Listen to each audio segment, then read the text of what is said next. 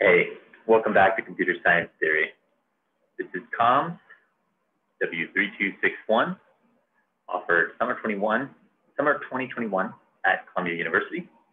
And this is lecture nine, part two, variant Turing machines.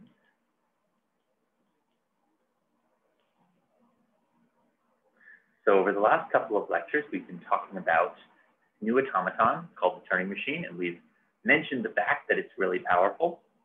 Um, in this next part, I'm going to be showing you several variants on the Turing machine. Generally, each of these examples are going to go like, we give the Turing machine some superpower. We say, suppose it has an extra gadget attached. Um, and certainly that gadget can't possibly hurt the execution. It'll pretty much help. And then we will prove some theorem or sketch some theorem that demonstrates, well, actually the gadget doesn't give the Turing machine any more power. So in fact, we can assume without loss of generality, anything solved by one of these variant Turing machines decided or recognized can be decided or recognized by a normal Turing machine. So let's get into it. Let's see some of these. The first variant Turing machine we'll consider is a multi-tape Turing machine. So in picture form, we're used to a Turing machine that looks like this. That is, it has a head that points at the input tape and moves left and right. Uh, the multi-tape Turing machine is just like the first one, but in addition to the input tape, we also have additional work tapes.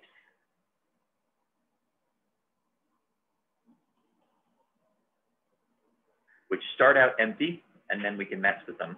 We can record things on them. So we can store memory on these tapes as well as on our work tapes.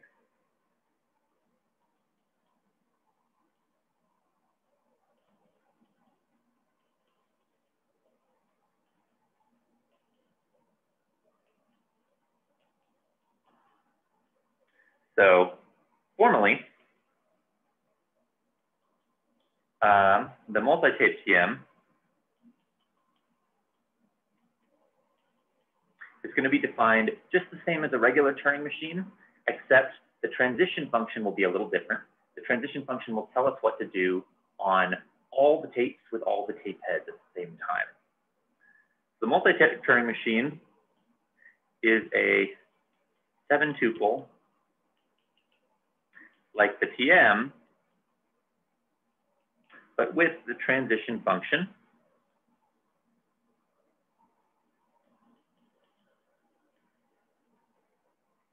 as follows. So our new transition function for the multi-tape Turing machine is going to map from a state and k different tape symbols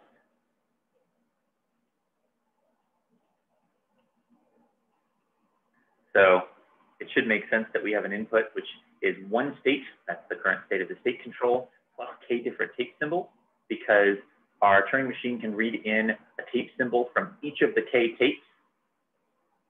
I'll say, I'll specify that we have k additional work tapes for some finite k. And we'll map to, well, a new state, k new things that we write on the tape,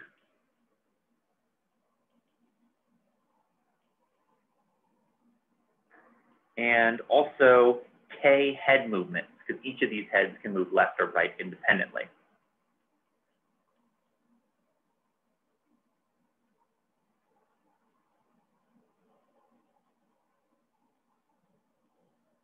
And the X symbol will stand for stay put, don't move left or right. Uh, previously, we just had left or right symbols because of the simple definition, but it turns out that adding the stay put symbol to keep a head in the same place uh, doesn't actually add any generality. Of course, if we wanted to stay put with a regular Turing machine, we could add two instructions to move right and then back to the left without doing anything to the tape. So the stay put symbol doesn't actually help us. The real difference here is that we're moving all k of the heads. possibly in different directions all at the same time.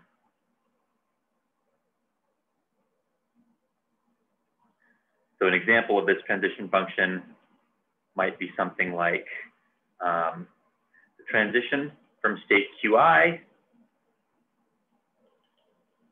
If we see the symbols A1, A2, dot, dot, dot, all the way to AK on the tape, might be go to state Qj, write the symbols B1, B2 through BK on the tape, and then finally move the first head left, the second head right, third head right, fourth head don't move, and specify that for all K symbols.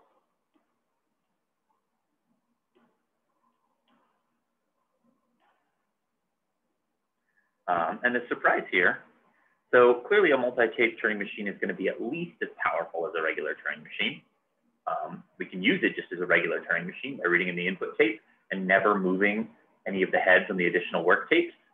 But surprisingly, it's no more powerful than uh, a normal Turing machine. Adding multiple tapes doesn't give us uh, a better ability to recognize or decide languages. So we'll sketch the following theorem. And the theorem says every multi-tape Turing machine has an equivalent single tape Turing machine.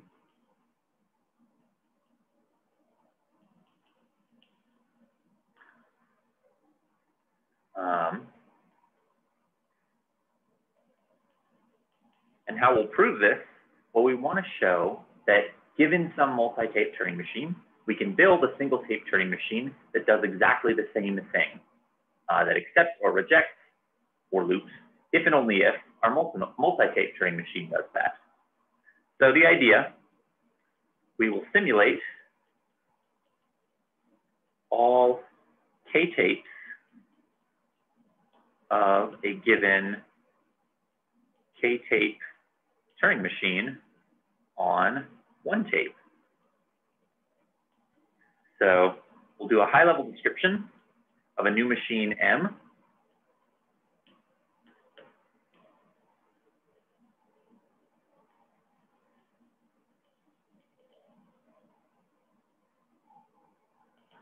So M will do the following. One, it will start by writing down uh, delimiters for the contents of K tapes onto the one work tape.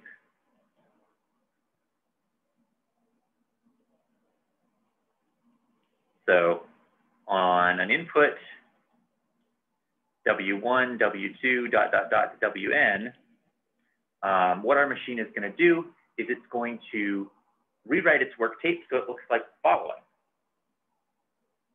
Um, we'll write down a special symbol to denote the first tape, which I'll write down as a one with a circle over it. We'll write down W1, W2, W3, WN. So that'll be our input tape. And then we'll write down special symbols to mark the beginning of all of these other tapes that we're going to simulate.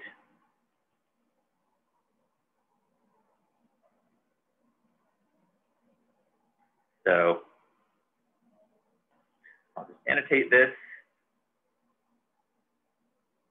This marks the beginning of our simulated tapes.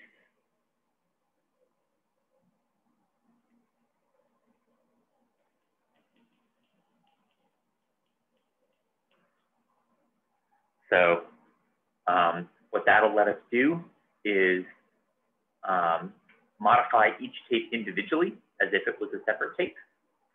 Um, what we're also going to do is we're going to mark the position of each tape head with a dot. So of course, um, an extra dot by accident. So these dots will represent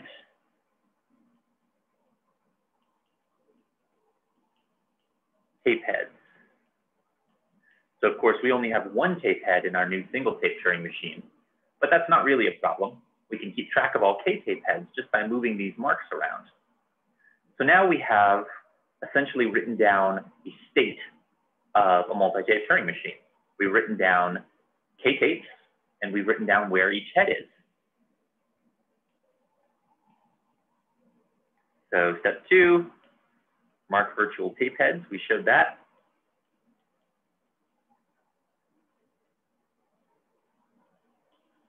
And step three is just simulate the transition function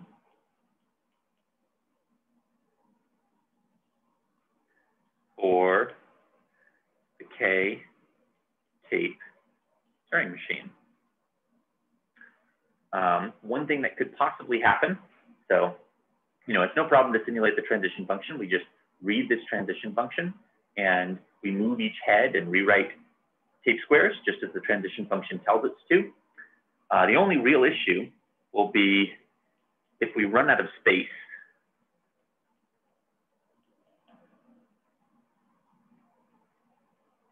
on a virtual tape. So of course, our virtual tapes are limited in space because we can't have an unlimited uh, extension of blanks from each one. We just run a special subroutine to add those blanks.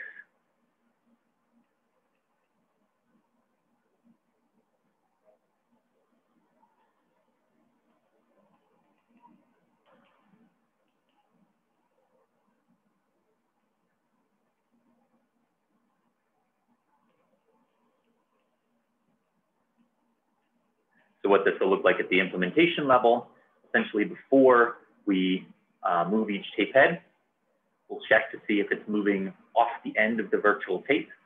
And if it is, we'll pause our simulation and we'll run a special subroutine to add a new blank or a new symbol to the end of our virtual tape. And then we'll continue our execution.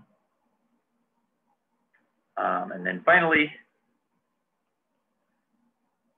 we accept or reject when the simulation accepts or rejects.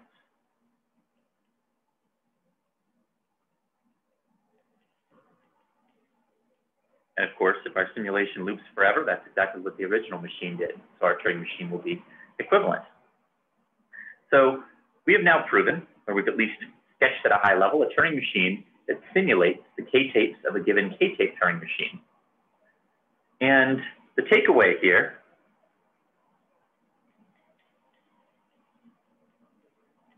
is that since multiple tapes don't give us any more power, since they decide and recognize the exact same set of languages as regular tape TMs, that means to show something is Turing recognizable,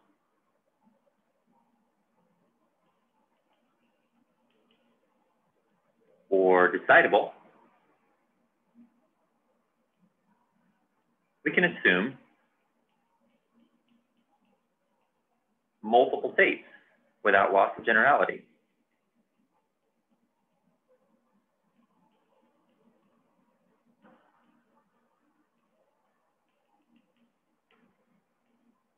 So that's handy. That's another superpower that will make our Turing machine definitions easier and that is the multi-tape Turing machine. What other superpowers can we give to our Turing machine? Well, there's one computational superpower that we've talked about over and over. Uh, it's been part of our previous automata. Natural to wonder, can we have a non-deterministic Turing machine?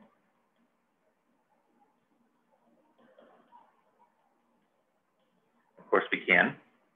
So previously, the Turing machines we've defined have been completely deterministic. Every uh, state and tape symbol has told us to do exactly one thing, go to a new state, move the tape head, write down a new symbol, or I should say, go to a new state, write down a new symbol, and then move the tape head. Um, so why not add non-determinism? Why not imagine that we're guessing computations or making multiple copies of our machine or whatever um, whatever image best suits this computational abstraction for you. So we can absolutely do this. This will require a new transition function. All the other formal details are the same.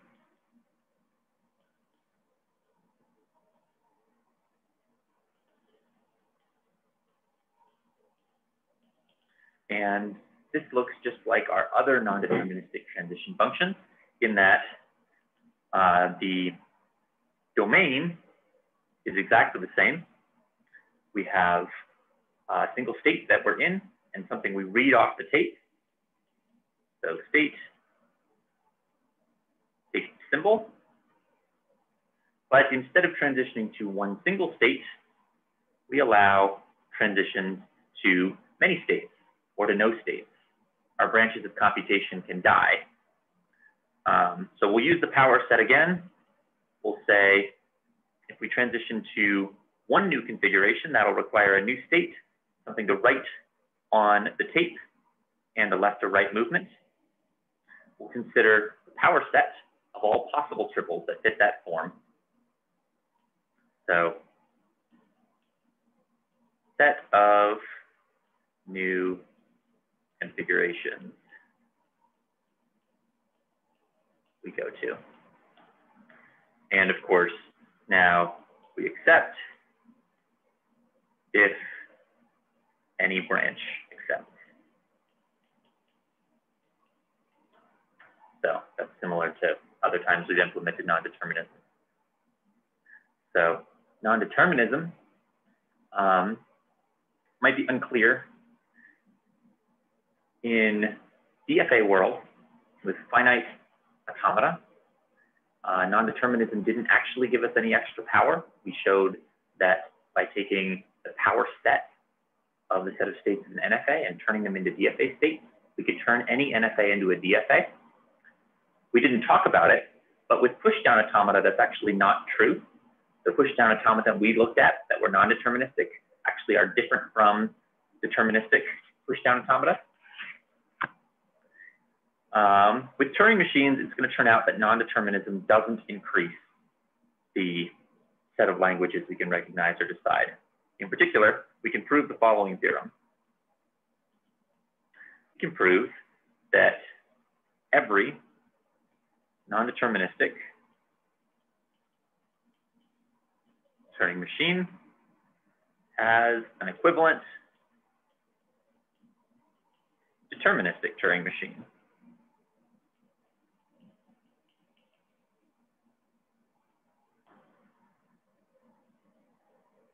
And here's a proof idea. I'll call it a proof sketch. So how do we prove this? Again, we imagine we have some non-deterministic Turing machine. We want to build an equivalent deterministic Turing machine.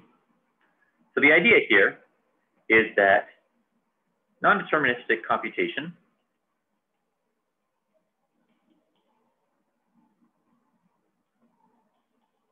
looks like a decision tree.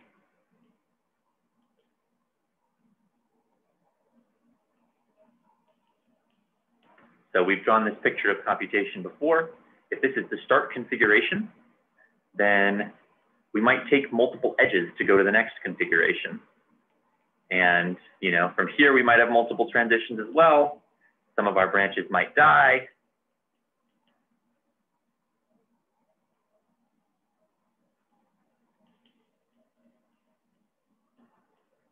Some of them might reject.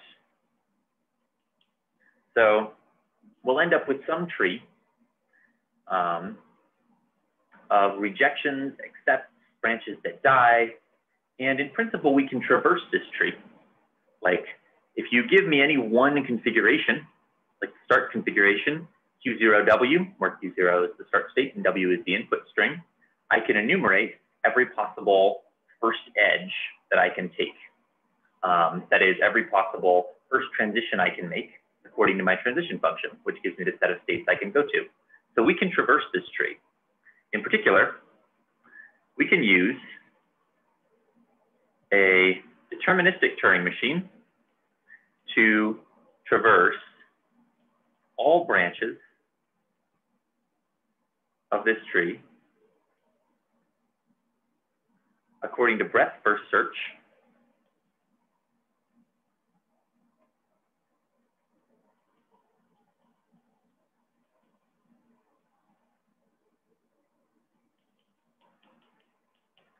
So we will look at the top node of the tree, we'll look at the first and second levels of the tree, and we'll look at the third level of the tree, and so on and so forth.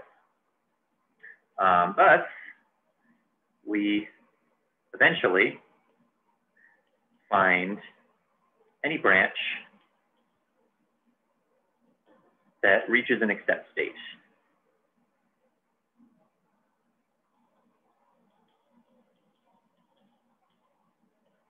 Except, in this case, reject if we finish exploring the tree.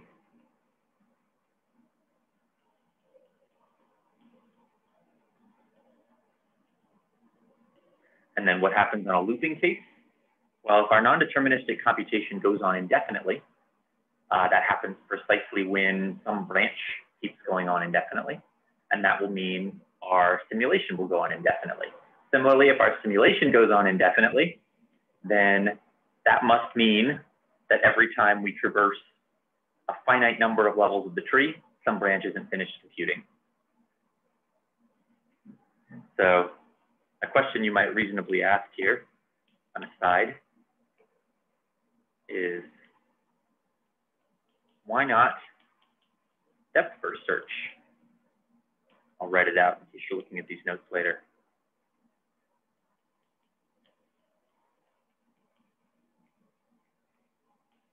And the answer is infinite loops. In particular, it's possible that some branch of a non-deterministic computation never terminates, but another branch accepts, in which case the non-deterministic computation accepts. If we did a depth first search, we might go, you know, we might get stuck going down that infinite branch and never find our accept branch. However, if we do a breadth first search, that means the depth we search to is continually increasing, so we won't get stuck in the infinite loop trap, and every accept state, which occurs at a finite depth, we'll get to eventually.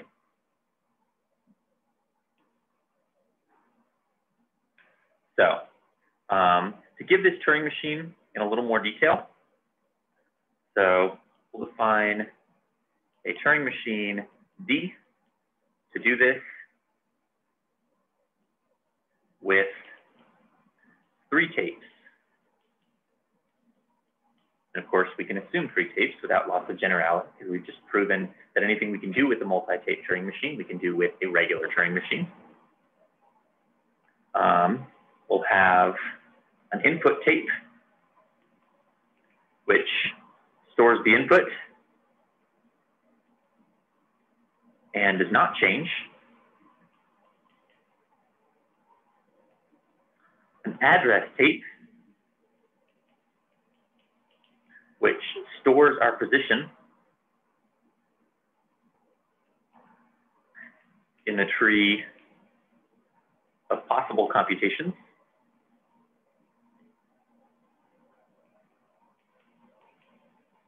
That is, we need to know which node of this tree on the right we are currently inhabiting at an intermediate point in computation.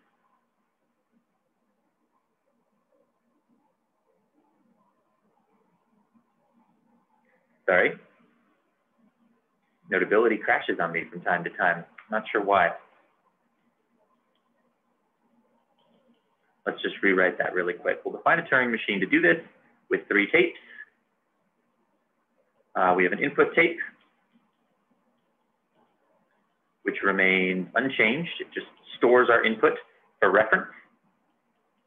An address tape that stores our position on the tree.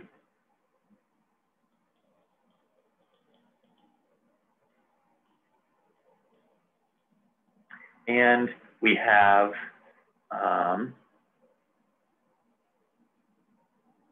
we have a work tape, which keeps track of our current computation.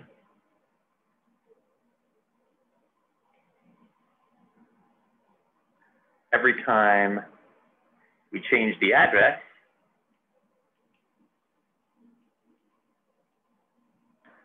we um, copy a fresh input onto the work tape.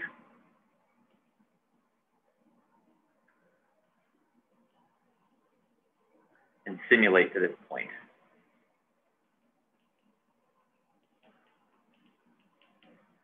So in other words, suppose I'm at this node, which is child two, and then child two.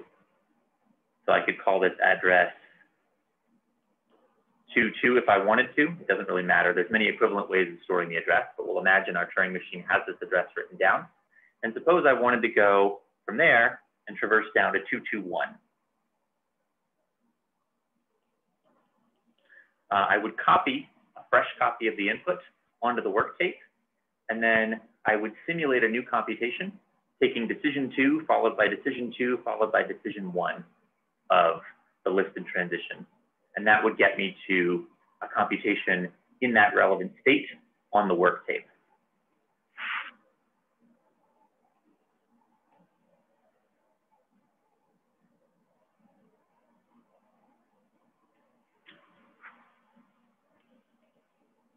That's just a little bit of detail on how this general high-level sketch works. All of these proofs, by the way, if you wanted to classify them in terms of our definition, formal, formal um, implementation details, uh, implementation level explanations, and high-level explanations, they would all be high-level explanations because I'm not really talking about how the tape head would move around or how memory is managed. The takeaway here since we can simulate a non-deterministic Turing machine with a deterministic Turing machine, to prove languages are Turing recognizable or decidable,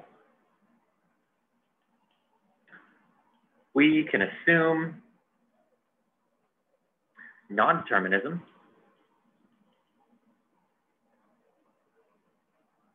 without loss of generality.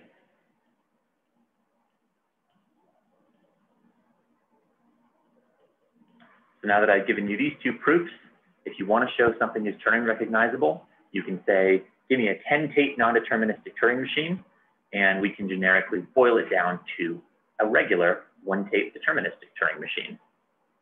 So that's handy. And we're starting to get the intuition that we'll build on later that Turing machines can kind of do anything that any machine we can reasonably define does. With the exception of certain really massive powers, like access to an a real thing later on in theory of computer science, Turing machines can just about do it all. Well, they can't do everything, but they can do everything that can be reasonably done. Our final superpower, a little bit different because this one doesn't actually aid computation. It's just an additional function we can add to a Turing machine is enumerators or enumeration. So the idea here is give a Turing machine a printer that can write down strings.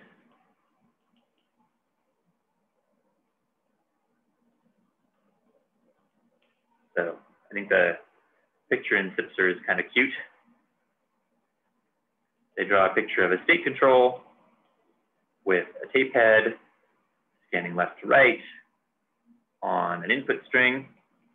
This is just a regular Turing machine. And then they show a wire connected to a little box with lights on it that is spooling out a sheet of paper with things written on it. I think this is a good picture of, well, it's not a good drawing, but it's a good idea of how an enumerator works. So what does an enumerator do? It's just a Turing machine, except at any given point, it can write down um, the string that is currently on its work tape. Specify from the work tape.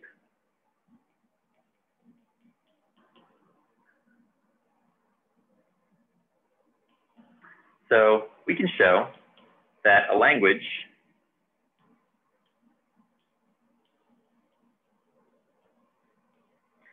is Turing recognizable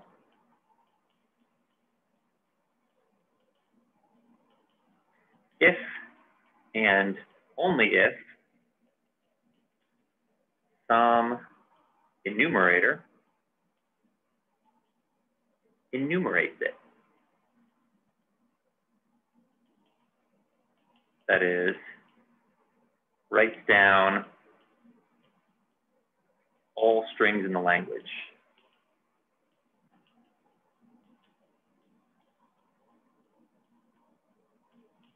And of course, we can enumerate infinite languages, which means enumeration can be an infinite process. So we can define a procedure that will eventually write down all strings of zeros, write down zero, then zero, zero, then zero, zero, zero, and so on. That's still a valid enumeration because it eventually gets to every string in the language, even though it's also an infinite process. So to prove this fact, what we'll have to do is we'll have to show that if a language is recognized by some Turing machine, we can come up with an enumerator to enumerate it. Also, if we have some enumerator enumerating a language, we can show how to create a Turing machine that recognizes it. So both directions of the if and only if. So um, the forward direction, the terrible arrow, forward direction of this proof looks like this. Suppose some enumerator E recognizes, enumerates,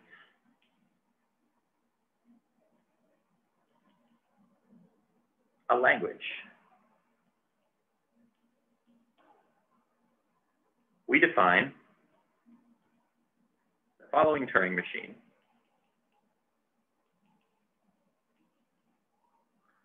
that recognizes M, ML. Uh, and it works like this. M is the name of our Turing machine. On an input, W, our Turing machine will do the following. We will simulate the behavior of the enumerator. Every time the enumerator outputs a string, we compare string with W. On a match, we accept. So why does this work? Well, we can certainly write down a representation of E on our workspace, and we can simulate its function. Our new Turing machine can't actually output a string, but it can get to the point of E's computation where E outputs a string. And every time it does that, it will write down that string and check it against the input string W. So clearly, if E, um, if W is in the language, E will eventually enumerate it, and M will recognize it because it'll eventually compare it to something enumerated by E. Uh, to go the other direction, we have to show that we can create an enumerator to enumerate a language for every string in the language, every string recognized by some Turing machine. And this is where we're going to see um, one of our first, maybe the first time in a proof that we've said, write down all the strings in a language. But we can do that. So we'll show, suppose a Turing machine, M, recognizes a language L.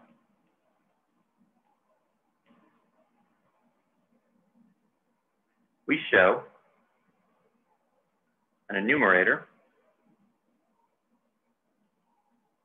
E, that enumerates L.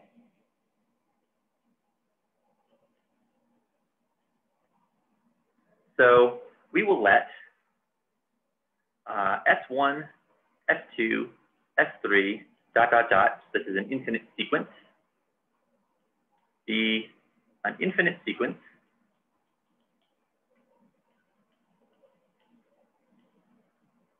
containing all strings over sigma, the alphabet, input alphabet of M. All right, so this might seem like a crazy object to posit, but it's really not that crazy. For instance, if sigma was the binary alphabet, then we could say, okay, well, S1 is zero, S2 is one, and then S3, S4, S5, well, that's zero, zero, zero, one, one, zero, one, one, and you could certainly define a way to enumerate all the strings. That's not a hard thing to do. The tricky bit is enumerating just the ones that M recognizes. But now, E is defined as follows. On, make it a for loop. We'll say for I equals one, two, three, and that'll be an infinite for loop stretching on to infinity. We will simulate M for I steps, I steps of computation on strings S1, S2, all the way to Si. If any computation accepts,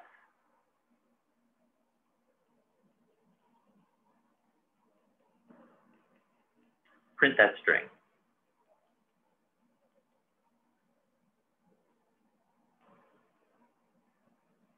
So why does this work? Well, now suppose some string Sj is in the language of M. And we'll say M takes k steps to accept Sj. Now, when the loop reaches iteration max of j and k, that is, whichever one is larger, j or k, um, will run for that many steps on strings up to, say it's j, say j is larger, then we'll run j steps on strings up to sj. Uh, we'll accept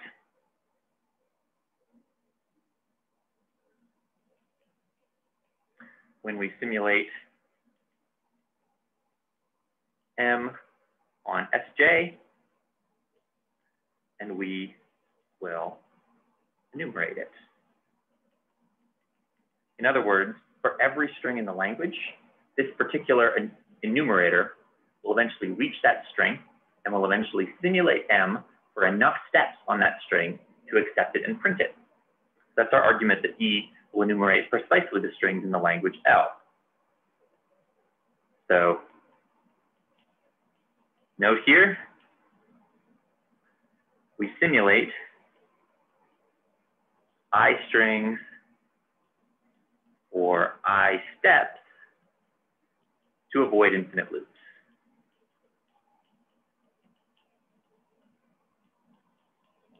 So in other words, if I said simulate M on S1 until M stops, and then simulate M on S2 until M stops, that wouldn't work necessarily because M might run forever on one of those inputs. Similarly, if I said um, run for any finite number of steps on all the strings, well, there's an infinite number of strings. So I can do this neat dovetailing thing of running M for I steps on I strings to ensure that eventually I will recognize and enumerate every string that M recognizes. So that is our proof that um, language is Turing recognizable if and only if some enumerator enumerates it. And this gives us a historical note, or I guess you could just say it's a um, a naming note. So the Turing recognizable languages are sometimes called the recursively enumerable languages because of this equivalence.